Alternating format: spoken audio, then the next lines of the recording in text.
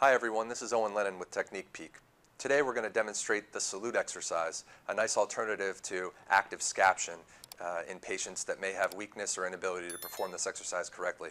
Very often with active scaption, we'll notice uh, significant compensations in the shoulder, uh, which can be detrimental to our uh, treatment progressions.